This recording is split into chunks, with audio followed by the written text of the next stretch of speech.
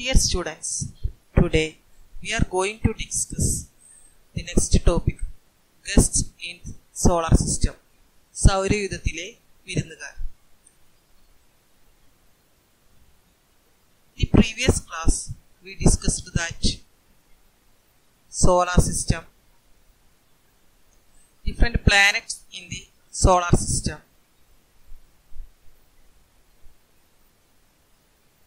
asteroid, planet, etc. Then, who are guests in the solar system? ആരെല്ലാമാണ് സൗരയൂഥത്തിലെ വിരുന്നുകാർ നമുക്ക് നോക്കാം. Comets are the rare visitors in the solar system സൗരയൂഥത്തിൽ അപൂർവമായി മാത്രം എത്തുന്ന വിരുന്നുകാരാണ് വാൽ നക്ഷത്രങ്ങൾ അഥവാ comets they are lumps of cosmic dust and snow particles പേര് സൂചിപ്പിക്കുന്നത് പോലെ ഇവ നക്ഷത്രങ്ങളൊന്നും അല്ല കേട്ടോ. ഇവ ഹിമപദാർത്ഥങ്ങൾ കൂടിയാണ്.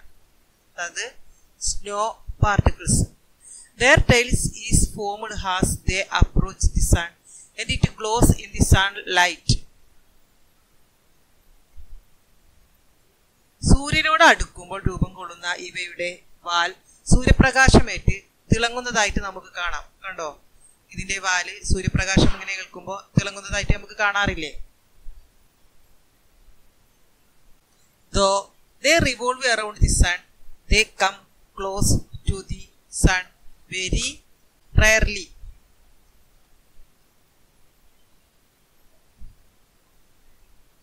സൂര്യനെ ചുറ്റുന്നവയാണെങ്കിലും ഇവ വളരെ അപൂർവമായി മാത്രമേ സൂര്യനോട് അടുത്തു വരാറുള്ളൂ. സൂര്യനോട് അടുക്കും തോറും ഇവയുടെ വാലിന് നീളം കൂടുകയാണ് ചെയ്യുന്നത്. കണ്ടോ? സൂര്യനോട് അടുക്കും തോറും ഇവരുടെ വാൽ നീളം വെക്കുകയാണ് ഉണ്ടാകുന്നത്. Do you remember the comet ISON which arrived by the end of two thousand thirteen ഈ fresh towards the sun and will never return രണ്ടായിരത്തി പതിമൂന്നിൽ ഒടുവിൽ എത്തിയ ഐസൺ എന്ന വാനനക്ഷത്രത്തെ ഓർക്കുന്നുണ്ടോ? സൂര്യനോട് പാനെടുക്കുന്ന ഐസൺ ഇനി ഒരിക്കലും തിരിച്ചു വരാത്ത രീതിയിൽ പൊട്ടി തകരുകയാണ് ഉണ്ടായത്. Next topic is meteoroids. Haven't you noticed light beams flashing in the sky during clear nights? തെളിഞ്ഞ ആകാശമുള്ള രാത്രിയിൽ അന്തരീക്ഷത്തിലേക്ക് മിന്നിത്തിളങ്ങുന്ന നക്ഷത്രങ്ങൾ നിങ്ങൾ കണ്ടിട്ടുണ്ടോ this disappear in no time before one can show in to another person ഇത് മറ്റൊരു പേഴ്സണെ നമ്മൾ കാണിച്ചു കൊടുക്കുന്നതിന് മുമ്പേ തന്നെ അപ്രത്യക്ഷമാകാറുണ്ട് Such rocks fragment of various size which enter into earth atmosphere are called meteoroids. ബഹിരാകാശത്ത് നിന്ന് ഭൂമിയുടെ അന്തരീക്ഷത്തിലേക്ക് കടക്കുന്ന പല വലിപ്പത്തിലുള്ള ഇത്തരം പാറക്കഷ്ണങ്ങളെ നമ്മൾ പറയുന്ന പേരാണ് meteoroids they burn due to friction with air on entering in to the atmosphere അന്തരീക്ഷത്തിലേക്ക് കടക്കുമ്പോൾ വായുമായി ഉരസി ഇവ കത്തും. അതാണ് നമ്മൾ കാണുന്ന പ്രകാശം. This is flash that we see in the sky the unburned remains of the meteors falling on the earth are called meteoroids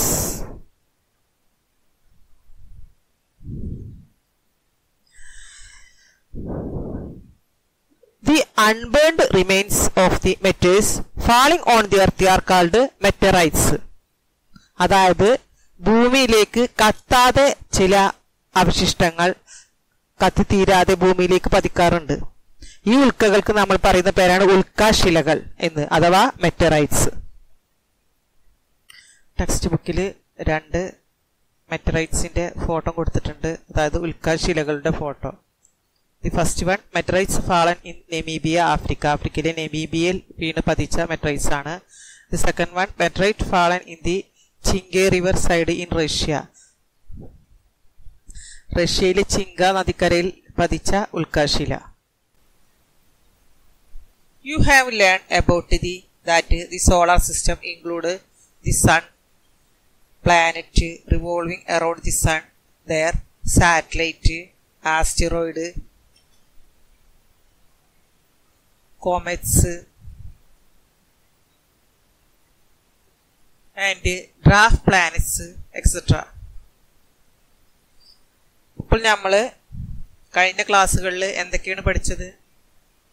solar system പഠിച്ചു satellite പഠിച്ചു ആസ്ട്രോയിഡ് പഠിച്ചു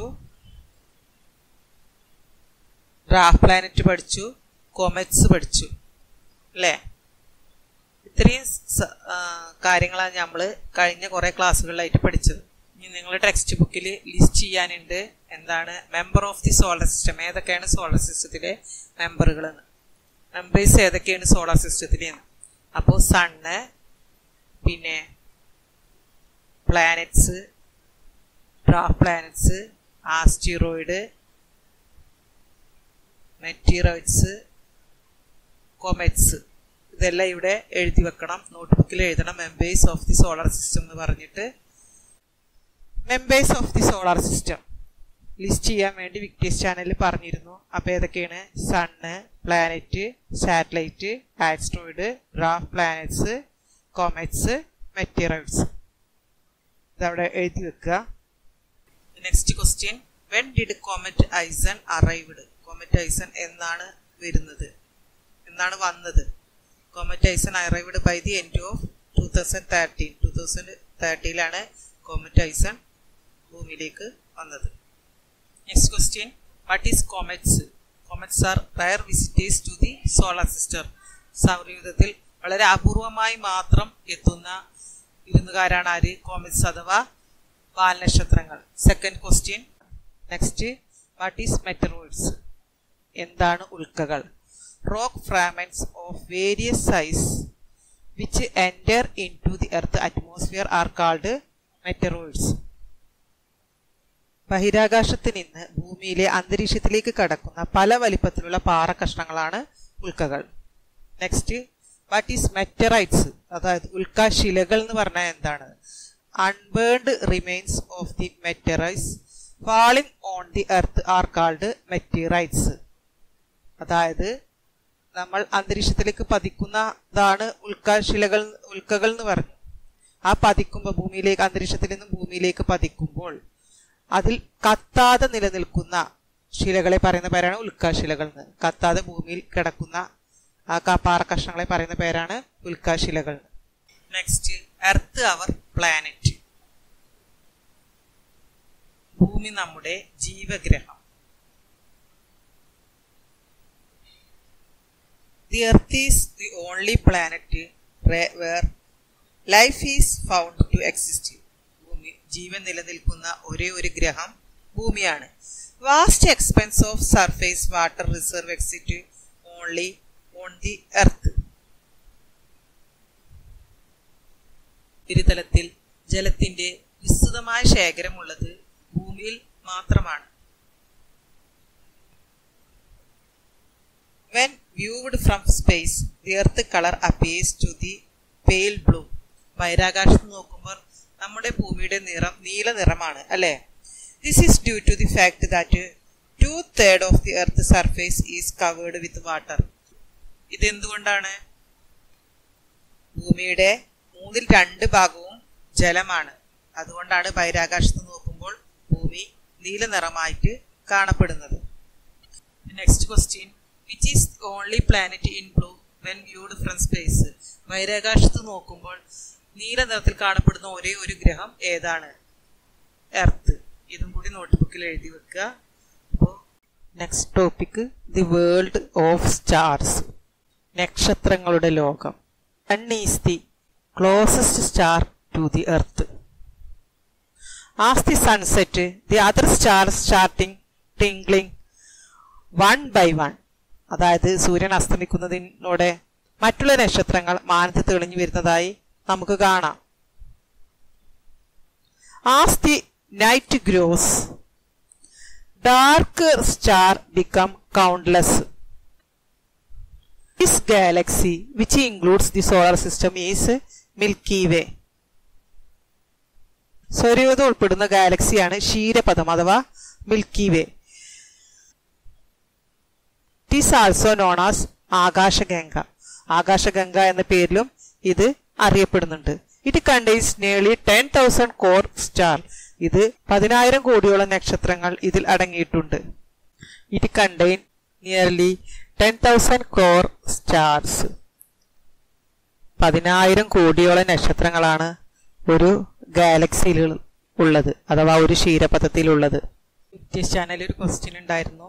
The earth is the only planet where life is found to exist explain is reason സൗരയൂഥത്തിൽ ജീവൻ നിലനിൽക്കുന്നതായി ഇതുവരെ കണ്ടെത്തിയുള്ള ഏക ഗ്രഹമാണ് ഭൂമി. ഇതിന്റെ കാരണം വിശദമാക്കുക എന്നായിരുന്നു ക്വസ്റ്റ്യൻ അപ്പോൾ ഇതിന്റെ ആൻസർ അപ്പോൾ ഇതിന്റെ ആൻസർ ആയിട്ട് എഴുതുക. The earth is only planet where life is found to exist because സൗരയൂഥത്തിൽ ഭൂമൻ ജീവൻ നിലനിൽക്കുന്ന ഒരേ ഒരു ഗ്രഹം ഭൂമിയാണ്. കാരണം മോഡറേറ്റ് ഹീറ്റ് ആൻഡ് കോൾഡ് മിതമായ ചൂടും തണുപ്പും വാട്ടർ വെള്ളം ഫെർട്ടൈൽ സോയിൽ ഫലഭൂയിഷ്ടമുള്ള മണ്ണ് അറ്റ്മോസ്ഫിയർ അന്തരീക്ഷം.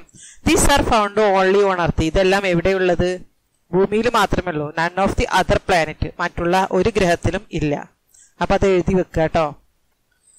The Milky Way is one among the nearly 10,000 crore galaxies which contains crores of stars പ്രപഞ്ചത്തിലെ ഏകദേശം പതിനായിരം കോടി ഗാലക്സികളിൽ നിന്നായ ആകാശഗംഗയിലെ കോടിക്കണക്കിന് നക്ഷത്രങ്ങളൊന്നായ of which is the sun is the one around which the eight planets revolve of which earth is the one where our country is located in in which our state of kerala is in which my beautiful land is etc എന്താ പറയുന്നത് പ്രപഞ്ചത്തിലെ ഏകദേശം പതിനായിരം കോടി ഗാലക്സികളൊന്നായ ആകാശഗംഗയിലെ കോടിക്കണക്കിന് നക്ഷത്രങ്ങളിൽ ഒന്നായ സൂര്യന്റെ എട്ട് ഗ്രഹങ്ങളിൽ ഒന്നായ ഭൂമിയിലെ ഇന്ത്യ രാജ്യത്തിലെ കേരളം എന്ന നാട്ടിൽ സംസ്ഥാനത്തിലെ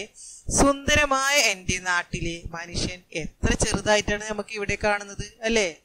അങ്ങനെ ഒന്ന് ചിന്തിച്ചു നോക്കൂ. Hour with this unending this in a inquisitive mind and with his hard work man is able to understand the secret of the universe എങ്കിലും പ്രപഞ്ചത്തിലെ ഈ സീക്രട്ടുകളെ കുറിച്ച് ഈ രഹസ്യങ്ങളെ കുറിച്ച് പഠിക്കാൻ നമുക്ക് അതിയായ ആഗ്രഹമുണ്ട് അല്ലേ